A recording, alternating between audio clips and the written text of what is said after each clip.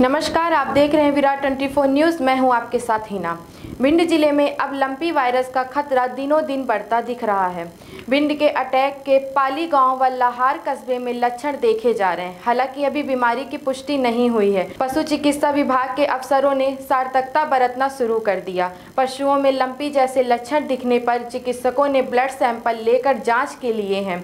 ये सैंपल जाँच के लिए भोपाल भेजे गए हैं। वहीं पशु चिकित्सा विभाग ने दस हज़ार वैक्सीन की डिमांड भेजी है, जो कल तक आ जाएगी। इसके साथ सड़क पर घूमने वाली गायों को सबसे पहले लगाई जाएगी। लंबे समय देश के अलग अलग हिस्सों में गायों में लंपी वायरस का खतरा बना हुआ है।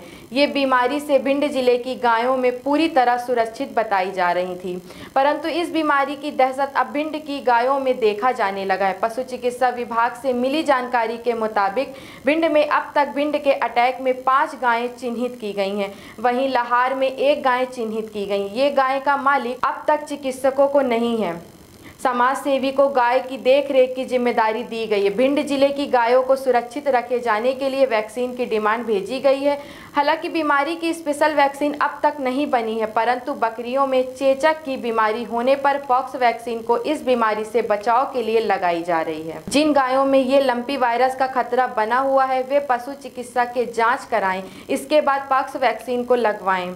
ये वैक्सीन तीन एमएल गायों को लगाए जाने की बात चिकित्सकों द्वारा कही जा रही है। पशु चिकित्सा विभाग के उप संचालक आर एस भदौरिया ने बताया कि भिंड के अटैक की पौली गाँव में चार गायों में लक्षण दिखे। वहीं लहार कस्बे में एक गाय में लक्षण दिखे। इन गायों का ब्लड सैंपल लिया गया है। आगामी एक या दो दिन में जाँच रिपोर्ट आ जाएगी। इसके साथ ही वैक्सीन लगाए, जाना शुरू किया जाए।